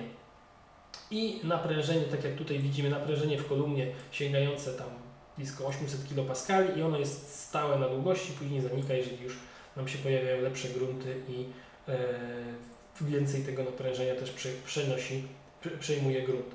Graniczna nośność wyznaczona e, tymi funkcjami transformacyjnymi e, jest na poziomie ponad 4000 kN, to jest bardzo dużo. Jeżeli chodzi o takie znowu inżynierskie podejście, to te funkcje transformacyjne, to tutaj proszę mnie tutaj jakby źle nie zrozumieć, to nie jest, to też jest inżynierskie podejście, natomiast nieco może nowatorskie, może nie tak często spotykane jak dotychczasowe. Natomiast jeżeli znowu jakimś inżynierskim podejściem uproszczonym chcielibyśmy policzyć nośność tej kolumny na takim poziomie, to można spróbować to zamodelować jako zastępczy fundament. W zależności od tego, jak mamy gęsto wypełniony fundament tymi kolumnami, to wtedy zastanawiamy się, czy przyjąć jako pojedynczą kolumnę, czy jako y, zastępczy dla grupy kolumn. Tych, y, tych metod jest y, kilka, natomiast y, o wyborze konkretnym no decyduje po pierwsze stopień skomplikowania, znaczy to, to, chcemy otrzymać, czyli jakby stopień istotności tych danych, wtedy musimy, im bardziej istotnych danych chcemy otrzymać, tym większe musimy zastosować bardziej wnikliwe metody obliczeniowe, natomiast do takich zgrubnych oszacowań ta praktyka dotychczasowa jest jak najbardziej do zastosowania. Y, Metody numeryczne, y, ja tylko tutaj zmarzę te żółte plamy, bo one mi się zostawiły. Tu, tu została przeprowadzona e, analiza w programie Plaxis właśnie w tym mm, modelu 2D dla układu osiowo-symetrycznego. Ym, Dlatego też to jest takie mm, no, małe, że tak powiem, bo, bo można tu oczywiście byłoby nie- nieco skrócić tą e, głębokość e, do, do obliczeń, a tutaj tak to przyjąłem bardziej dla warunków e, edukacyjnych, że tak powiem. I widzimy, że maksymalne osiadanie e, to jest około, tutaj jest 19,5 mm w poziomie głowicy kolumny E, i to osiadanie na początku jest równomierne razem z gruntem, później to się nieco zmienia na poziomie, później one się oczywiście wyrównują, no bo to wszystko siada jednocześnie. I tu jest drugi wykres, który pokazuje e, naprężenia w kolumnie. Tutaj jakby, jeżeli chodzi o szczegóły tego wykresu, to też e, złożoność tych obliczeń numerycznych ma wpływ na to, co zrobiliśmy, wpływ ma to, co wcześniej założyliśmy, czyli jakie te etapy były wcześniej przygotowane, więc tutaj to podaję jako tylko taki e, ciekawostkę, natomiast e, no, nośność nośność, y, no, naprężenie w kolumnie wyznaczyliśmy sobie tam i też wyznaczymy sobie, można powiedzieć już tak na kartce, y, a to dlatego, że gdybyśmy tutaj mieli e, większy udział gruntu, czyli nie te 5 kPa czy, czy 4, które tam nam wyszły, no to warto byłoby poznać, jakie jest naprężenie w kolumnie szczegółowe i jakie jest naprężenie w gruncie, ponieważ wtedy będziemy mieli różnicowanie e, sztywności grunt i kolumna. Natomiast tutaj mamy sytuację, w której e, kolumny praktycznie przenoszą całość tych obcią- obciążeń. I tu jeszcze jest wykres, y, wykres y, przemieszczeń na różnych głębokościach i widzimy, że zarówno kolumna, jak i grunt na tej głębokości 1,5 metra to są te dwie ze sobą sklejone linie przemieszcza się w ten sam sposób, czyli jest ta zgodność przemieszczeń na górze. Natomiast już poniżej w podstawie kolumny y, te osiadania, znaczy te przemieszczenia już są nieco inne. Widać po prostu, że tutaj jest ta y, różnica. I jeszcze wykresy pokazujące y, z metod właśnie numerycznych rozkład naprężeń w kolumnie i rozkład naprężeń w gruncie. No to tutaj widać ewidentnie, tu jest około 800 kPa. Ym, Oczywiście tu jest pewne, pewne zaburzenia ze względu na to właśnie sposób siatkowania i, przyjęte modele obliczeniowe. Natomiast widać znowu dysproporcję, że ten em, w gruncie tego nie widać, natomiast z tabelarycznych określeń widać było, że to jest 50, y, to jest około 5 kPa, czyli znowu zgodność z tymi metodami, funkcjami transformacyjnymi. Naprężenie w kolumnie w zasadzie można wtedy uznać, że w całości y, przypada na naprężenie zewnętrzne w całości przypada na kolumnę. I to jest jeszcze wykres y, z okolic podstaw kolumny, jak tutaj te naprężenia się zmieniają. Czyli naszym wynikiem naszych analiz jest osiadanie ko- kolumny komórki e, rzędu, yy, tutaj się pomyliłem, oj, proszę sobie tutaj dopisać przecinki, bo to jest 2 do 2,5 cm, przepraszam, że tak to wyszło, ale to chodzi o 2 do 2,5 cm. Yy, Dlaczego podałem zakres? Ponieważ y, warto, mm, przy, mm, jeżeli mówimy nawet w Eurokodzie jest ten zapis, że jeżeli mówimy o siadaniach, to mówimy raczej o wartościach przybliżonych, nawet jeżeli liczone są pre- precyzyjnymi metodami numerycznymi. Y, To wynika z kilku względów. Jeżeli chodzi o metody numeryczne, to żeby, żeby policzyć precyzyjnie osiadania, musimy mieć też bardzo dobre e, informacje o warunkach gruntowych, szereg badań e, laboratoryjnych i polowych. Zwykle do tego nie ma dostępu, więc to też jest pewna, pewnym tutaj obarczone e, błędem i zawsze warto sprawdzić jakiś zakres osiadań, co za tym idzie zakres e, współczynnika sprężystości, no bo mamy między 2 a 2,5 cm osiadanie. Przy charakterystycznym całkowitym obciążeniu kolumny e, blisko 1000 kN, to mamy od 40 powiedzmy do 50 tysięcy kN na metr. E, Gdyby ten grunt, grunt w poziomie posadowienia był nieco, miał nieco większe parametry, wyższe parametry, można by to było jeszcze uwzględnić e, sprężystość ośrodka gruntowego. Nawet jak tego nie uwzględnimy, to teraz przy wzmocnieniu podłoża, y, to już jest podłoże wzmocnione, ta płyta fundamentowa wzmocniona kolumnami y, DSM. Pierwsze sprawdzenie to było na poziomie y, tych 40 tysięcy kN na metr. Widzimy osiadanie w tutaj w skrajnych obszarach, że to jest y, 2,5 cm. To już jest też liczone innym programem GGU Slab y, do liczenia płyt fundamentowych, gdzie jest uwzględniona grubość płyty i jej sztywność, co za tym idzie. To już jest też liczone e, metodami numerycznymi, więc takie jakieś delikatne odstępstwa mogą się pojawić. Natomiast widzimy, że e, uzyskaliśmy no niemal równomierne osiadania na e, przestrzeni całej tej płyty, na obszarze całej tej płyty. Tu mamy oczywiście 2,5, tu mamy około 1,9, no to jest pół centymetra różnicy, ale w inżynierskim jakby takim rozumieniu możemy powiedzieć, że to jest równomierne osiadanie, biorąc pod uwagę, że mierzyliśmy się wcześniej z 19 e, czy 18 cm. Aha, i tu obciążenie jest, nie jest strefowane, tylko jest po prostu przyjęte na całej powierzchni jednakowe.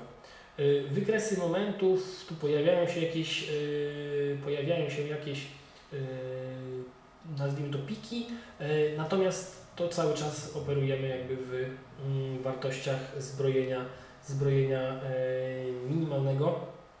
Co za tym idzie, jest to, tak wygląda e, docelowe wzmocnienie podłoża tymi, tymi kolumnami, ilustracja. E, Co za tym idzie, wniosek jest taki, że mimo, że tutaj mamy em, grunt, że, że ten grunt jakby nie bierze udziału w przenoszeniu obciążeń, to cały czas nie mamy jakiejś sytuacji, w której mamy wybitne, wybitne jakieś różnice osiadań na tej płycie, czyli można to tak poniekąd traktować, jeżeli byśmy to pro- projektowali na podłożu wzmocnionym o jednym globalnym współczynniku sprężystości, wtedy byśmy mieli naprężenie pod płytą fundamentową rzędu e, 150 plus te, e, załóżmy dla równego tam 170 kPa i osiadania rzędu 2,5 e, cm, co dałoby nam, tak jak w poprzednim przykładzie, parametr e, osiadania, czyli parametr sprężystości, czyli megapaskale lub kilopaskale na metr. Y, Ten program uwzględnia, nie uwzględnia tych, y, tych, tych kolumn jako em, elementy takie, on uwzględnia jako elementy punktowe, natomiast y, jeżeli byśmy wzięli jeszcze powiedzmy w analizie na przykład za pomocą programu Robot, gdzie zamodelowalibyśmy rzeczywistą objętość tej kolumny, to y, jak Państwo by zobaczyli y, odległości, jeżeli tu mamy 1,20 m średnicy kolumny i 2 metry między sobą, no to praktycznie one są obok siebie, w związku z czym to posadowienie bezpośrednie, wymiarowanie tej płyty jako posadowienie bezpośrednie jest jak najbardziej uzasadnione. Y, Tu jeszcze jest wykres osiadania podłoża przy tym wyższym współczynniku sprężystości. Znowu no tu jest około 1,5 cm różnicy między skrajnym fragmentem a tymi e, środkowymi, ale znowu można to w mojej ocenie rozpatrywać jako e, równomiernie osiadające podłoże, co za tym idzie Nie mamy tutaj jakichś e, przesklepień, przebić takich, które wymagałyby szczególnego rozważenia. Oczywiście, jeżeli byśmy zrobili bardzo duży rozstaw tych kolumn DSM i e, dużą siłę, chociaż tutaj ta duża siła jest jakby, oczywiście duża siła na kolumnę DSM przypada, ale ona jest głównie z tego, że mamy dużą średnicę. Natomiast sama wytrzymałość tego, tej kolumny jest e, stosunkowo niewielka, jeżeli mówimy o różnicy między otaczającym i gruntem, jest większa, zgadza się, dużo większa, ale to nie jest taki sztywny element, jak na przykład pal prefabrykowany czy e, pal przemieszczeniowy, który jest taką przy, przy, przy sile, którą przenosi, przy naprężeniu, które można dopuścić na element betonowy średni, i średnicy i rozstawy, to jednak tutaj mamy bliżej do posadowienia bezpośredniego niż yy, do posadowienia takiego, nazwijmy to, palowego. No i tu jeszcze taki wykres yy, tego osiadania w, w, powiedzmy w takim grafice 3D, yy, który pokazuje nam, no oczywiście te krawędzie płyty są, są osiadają mniej, natomiast to też wynika z przyjętego, przyjętego, przyjętej analizy w tym przykładzie obliczeniowym, bo gdybyśmy, tak jak rzeczywiście tutaj doszły jakieś obciążenia liniowe związane ze ścianami, y, które zwykle wy, występują na takich y, elementach, no to, to by też wyglądało nieco inaczej. Tak tutaj słowem komentarza, żeby nie było y, wątpliwości, dlaczego akurat ta płyta się tak nagle wygina, no bo to nie możemy mówić o, o wyginaniu przy takich wartościach. I jeszcze kilka zdjęć z realizacji. Kilka zdjęć z realizacji różnych. Tutaj bardziej chodzi mi o to, żeby za, za, zademonstrować Państwu, że ta technologia, która wydaje się, że ona jest bardzo taka no, brudna i, i, i nieestetyczna, no to jak widzą Państwo tutaj na tych, na tych zdjęciach, yy, tuż obok jest chodnik. Oczywiście jest tutaj przesłona, która zapobiega chlapaniu ale jest to tak, ok, tu w miejscu, gdzie są roboty, to jest, jest bałagan, ale to nie jest tak, że to chlapie na wszystkie strony, więc można to robić w takich estetycznych warunkach. Yy, tutaj też pokazuje mniej więcej ile tego urobku się nam wydobędzie z, yy, podczas produkcji. Tu jeszcze realizacja nasypu yy, istniejącego, wzmocnienie istniejącego nasypu drogowego. Te zdjęcia już się pojawiały, ale to tak tylko jeszcze dla ilustracji. Przykład rozkładu kolumn w, w sytuacji, kiedy mamy dużą, duże obciążenia punktowe skupione w, w miejscach czy to szybów windowych, czy słupów.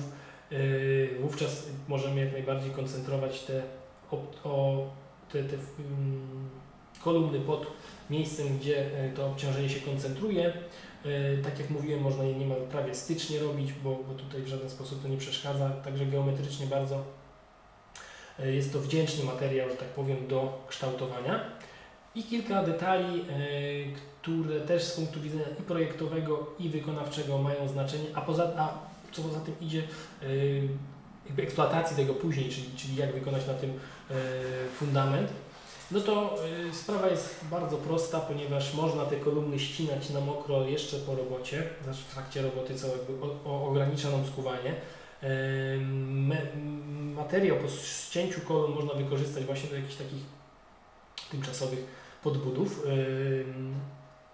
Jeżeli chodzi o detal skucia, to zwykle jest to, e, znaczy przepraszam, ścięcia raczej bym powiedział, bo to można ładnie ściąć na mokro, do poziomu e, chudego betonu, na to, na to jest wyrównywane chudym betonem ewentualne ubytki i płyta fundamentowa już wykonywana tradycyjnie bez żadnego mm, tutaj e, żadnych odstępstw.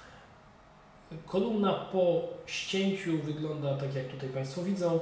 E, no, ewidentnie nie da się jej nie zauważyć. E, w przypadku gdyby jakieś się tu pojawiły okruchy czy, czy ubytki, to ma chudy beton jest w stanie to bez, bez żadnych problemów wy E, wypełnić i spełnić wymagania wytrzymałościowe, biorąc pod uwagę, że on będzie miał wytrzymałość około 10 megapaskali, no to jest większe niż to, co tutaj analizowaliśmy.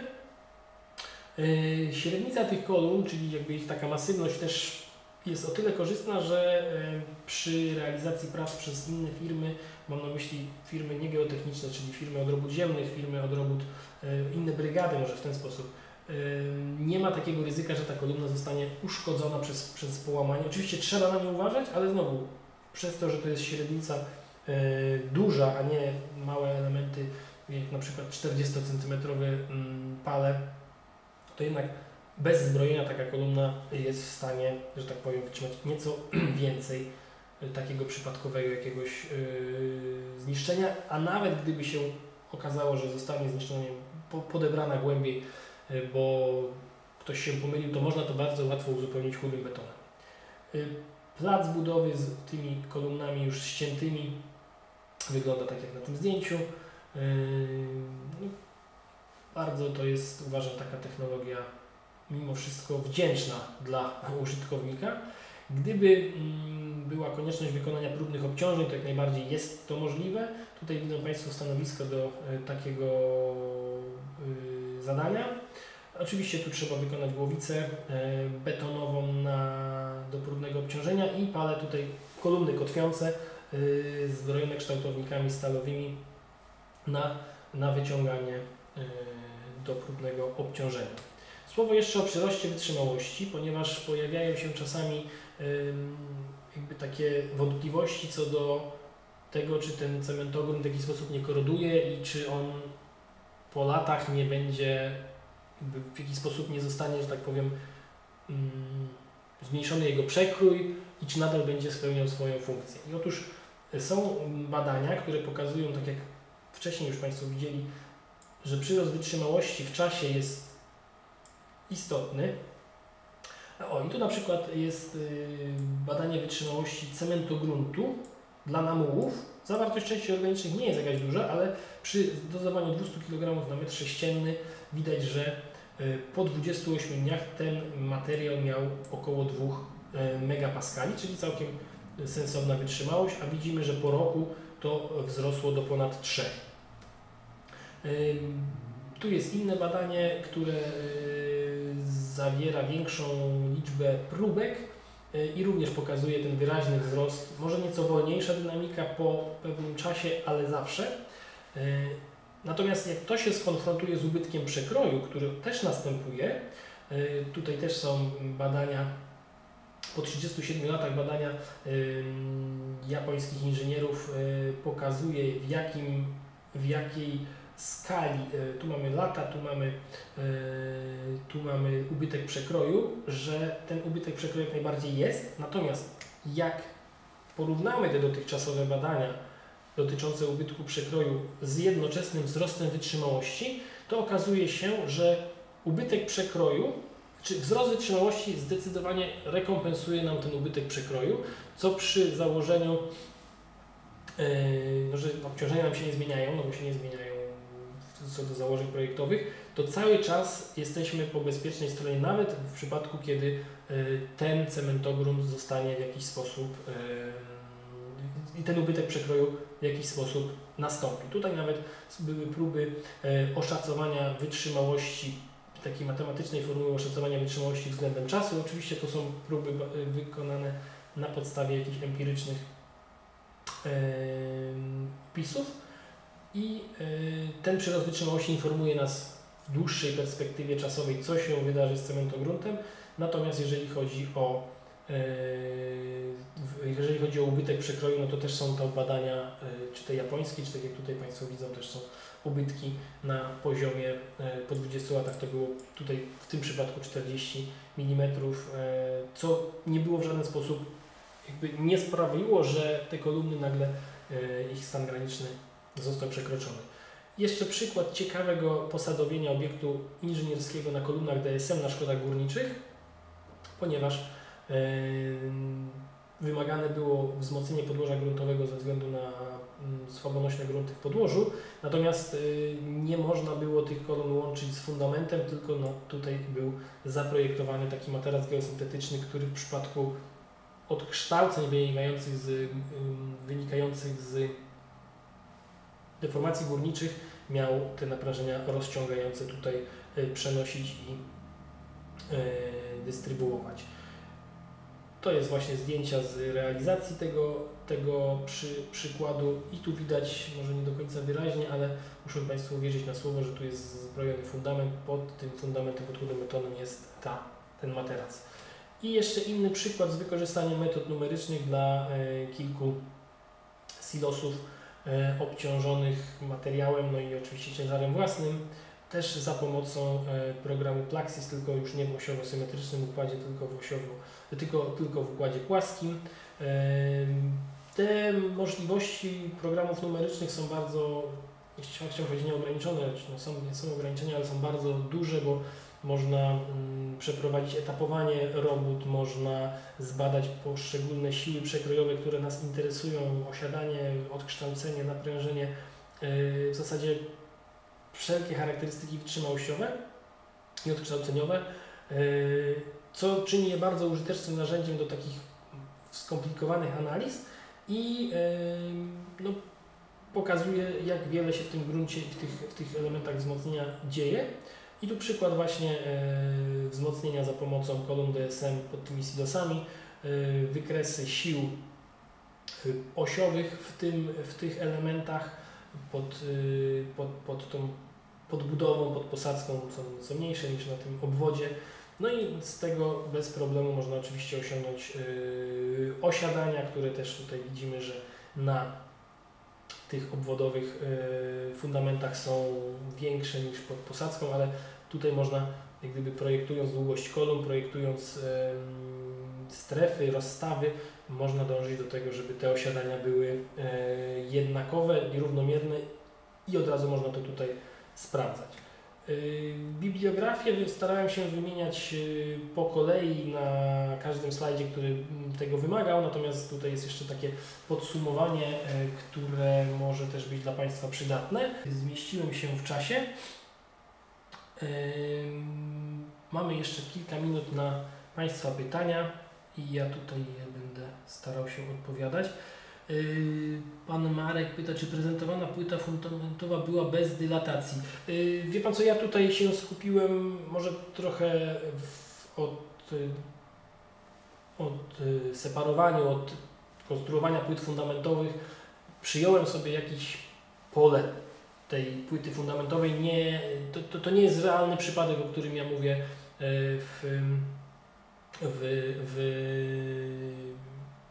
tym, w tym przy, przykładzie. Bardziej chodziło mi o wpływ e, osiadań, wpływ wzmocnienia podłoża. Nawet jeżeli byśmy tą dylatację tam zamodelowali, czy zamodelowali, w sensie, jeżeli ona by tam była, no to wpływ e, tego sąsiedniego fundamentu na fundament obok też by był, więc w osiadaniach to poniekąd wykres byłby inny, przemieszczenia byłyby inne, ale, ale wartości byłyby zbieżne.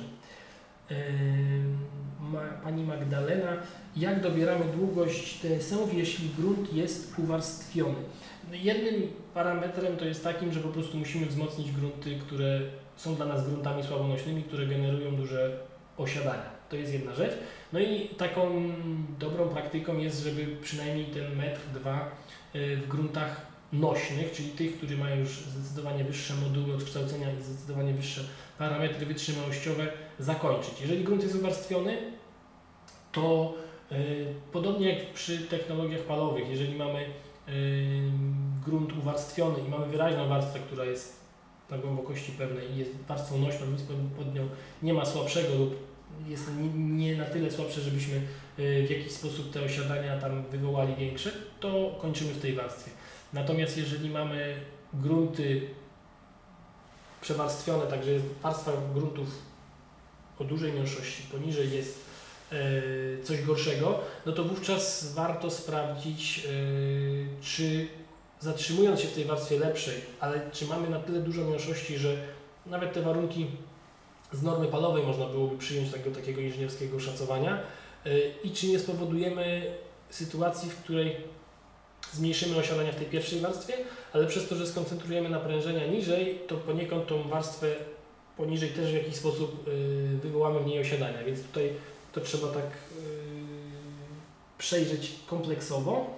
Z jakiego warunku sprawdzamy nośność kolumny w przypadku gruntu uwarstwionego?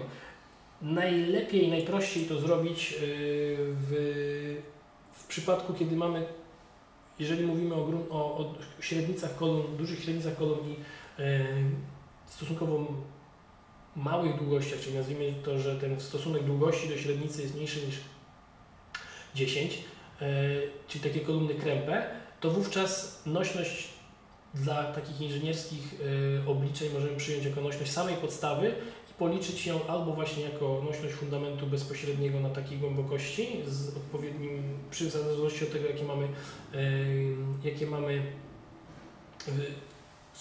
ilość kolumn w, w, naszym, w naszym fundamencie lub można spróbować też oszacować to na podstawie nośności podstawy według starej y, polskiej normy i to też będzie pewne oszacowanie raczej, znaczy nie raczej, na pewno bezpieczne. O tak.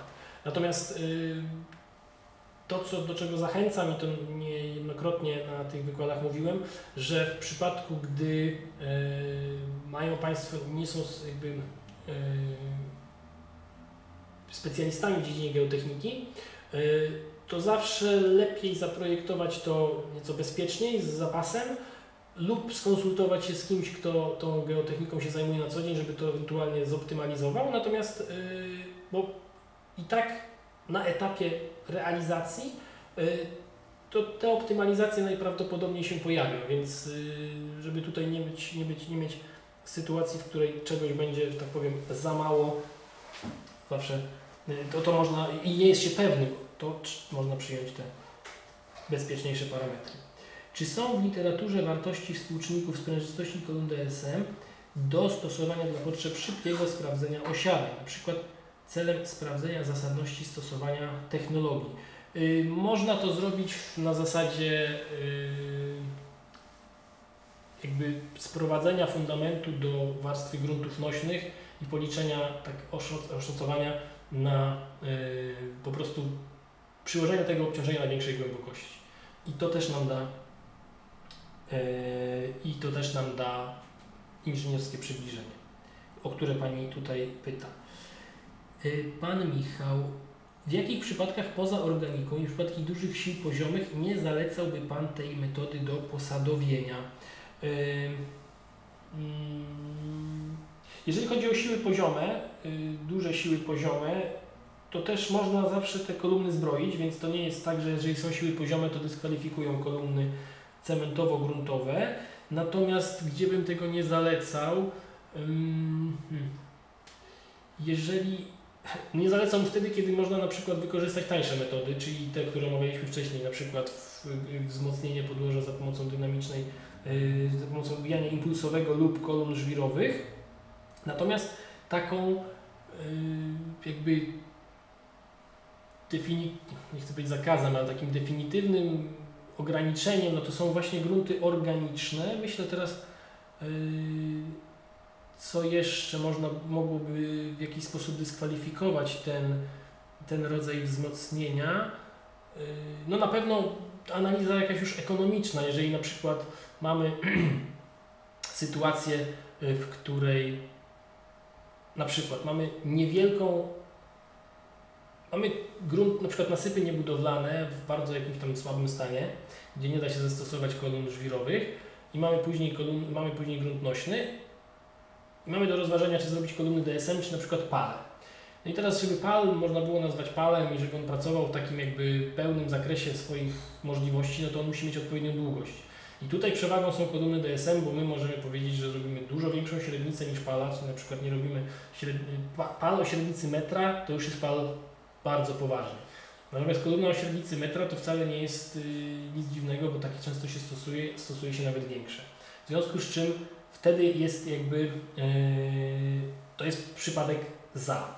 Natomiast jeżeli mielibyśmy sytuację, ale znowu, to będzie wynikało już głównie z analizy ekonomicznej, że na przykład bardziej opłacalne byłoby wykonanie jakiegoś, załóżmy w podłożu skalnym, dochodzimy do podłoża skalnego, i na przykład chcemy wykorzystać nośność skały, yy, czyli większą wytrzymałość niż te, te powiedzmy 2 MPa czy 3, które ma kolumna DSM, to wtedy zastosujemy palę, no bo beton będzie przenosił dużo większe naprężenia. I wtedy uzyskamy dużo większe nośności, które nas w tym przypadku interesują. Jeżeli jeszcze mówimy o takich warunkach, w którym nie, stosow nie stosować tych DSM lub stosować je z jakimś tam pewnym ograniczeniem, no to właśnie przy, w przypadku podłoża skalnego jeżeli mamy duże jakieś takie e, okruchy, rumosz, który po prostu uniemożliwia wiercenie tego, no to wtedy też może być trudno zastosować takie, taką metodę, choć zdarzają się przypadki, że i to się udaje. Natomiast y, jeżeli byłaby potrzeba w jakiś sposób te kolumny zakotwić w gruncie skalistym, no to tutaj już niestety jest ograniczenie, bo ten, ma, ten mm, sprzęt nie urobi y, tej skały. Y, Pan Bogumił, jak się ma zakres stosowania pali DSM w stosunku do poziomu wody gruntowej? Y, Nie ma przeciwwskazań, jeżeli ta woda nie ma jakichś, jeżeli ta woda nie jest, ym, znaczy jeżeli to nie jest jakieś zanieczyszczone takimi jakimiś metalami ciężkimi czy związkami, które, i tu już mówię, jeżeli mamy informację, że na przykład wykonujemy takie kolumny na jakimś zakładzie, gdzie to skażenie mogło być historyczne jakieś, no to obowiązkowo musimy to przebadać, żeby być bezpiecznym. Natomiast jeżeli jest to zwykła woda gruntowa, która nie charakteryzuje się jakąś agresywnością lub nawet takimi agresywnościami, które e, mamy tam XA1 czy XA2, to wtedy musimy powiedzmy dobrać e, zaczyn na, najlepiej na cemencie hutniczym. Natomiast jeżeli chodzi o sam poziom wody gruntowej, to nie ma przeciwwskazań, musimy być poniżej, przynajmniej pół metra e, powyżej poziomu zwierciadła wody gruntowej dla wykonawstwa tych kolumn. Natomiast y, sam fakt, że tam ta woda gruntowa jest, to on nam w żaden sposób nie przeszkadza. Y, jeżeli, to jest, jeżeli jest woda gruntowa, no to najprawdopodobniej mamy do czynienia z gruntami przepuszczalnymi, czyli piaskami. Więc jeżeli odpowiednio gęsty zaczyn wykonamy, y, sporządzimy, to wymieszanie piasków z cementem i wodą, to w zasadzie z, z zaczynem cementowym i wodą, to jeżeli my ograniczymy podaż tej wody w naszym zaczynie, którą będziemy jakby korzystać też niejako z tej wody gruntowej, no to mamy praktycznie no, beton mieszany tak w takich warunkach yy, na budowie, więc yy, jak najbardziej to się nadaje. Jeszcze ktoś pisze wiadomość, więc poczekamy do, do udzielenia odpowiedzi. Tam jeszcze było pytanie, ale to chyba już zostało Aha, tak, odpowiedź na to, gdzie z, nagranie do szkolenia 1.2, to, to jest właśnie na, na YouTubie można obejrzeć. Czy jest możliwość pobrania materiałów z tego szkolenia? Prezentacja, bibliografia. Tak, jest możliwość yy, i to może przypomnę, bo, bo pojawiło się pytanie. Yy, to musimy przeskoczyć tutaj do slajdów. Szkolenie można obejrzeć na stronie TVDOIB. Natomiast materiały, jeżeli zaloguje się, e, zaloguje się Pan do portalu Polskiej Izby Inżynierów Budownictwa, e, to w zakładce szkolenia online. W zakładce przeszłe szkolenia można pobrać zarówno materiały, jak i zaświadczenie. A jest też o, wrzucona na Yy, na czat. To, to dla, dla tych z Państwa, którzy nie będą się chcieli tam logować. Dobija godzina 18. Yy, jeżeli są jeszcze jakieś pytania, to serdecznie proszę o zadanie. Jeżeli są pytania, które wymagają dłuższej odpowiedzi, jakiegoś większego, yy, większej analizy, to proszę o wysyłanie wiadomości do redakcji. Zaraz się pojawi mail na czacie. I tam, jeżeli będę miał odpowiednią wiedzę i kompetencje, to jak najbardziej i jak najchętniej odpowiem Państwu na te pytania. Tak, tu jest ten mail się pojawił. Natomiast jeżeli nie ma pytań, nazwijmy do takich bieżących, do, do szybkiej odpowiedzi, to serdecznie Państwu dziękuję za obecność. Było chyba w szczytowym momencie ponad 100 osób, więc bardzo, bardzo fajna frekwencja. Jeżeli mają Państwo też pomysły lub w jakiś sposób, y, nazwijmy to nawet inspiracje do, do szkoleń, które chcieliby Państwo usłyszeć, tylko tutaj no, powiem wprost, z dziedziny E, geotechniki, może nawet szeroko pojętej, ale geotechniki, to również proszę o sugestie na adres y, redakcji, który się tu wyświetlił. Jeżeli będę się e, właśnie czuł na tyle mm, kompetentny w tych tematach i, i mm, doświadczony, to z przyjemnością przygotuję takie wykłady. E, a na tą chwilę bardzo Państwu dziękuję. Życzę miłego popołudnia, miłego wieczoru i mam nadzieję do zobaczenia w przyszłym miesiącu z częścią czwartą.